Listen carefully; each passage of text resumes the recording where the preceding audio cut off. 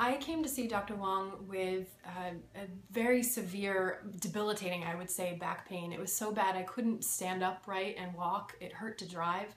Um, simultaneously, I also had um, very bad digestive problems, so bad actually that I had ended up in the emergency room. It was that painful. So I had seen several physicians who were trying to help and uh, it wasn't until I came and, and saw Dr. Huang, um, who I came and saw specific, specifically because of the great reviews I saw on Yelp, um, and he was able to help me through chiropractic care and applied kinesiology appointments.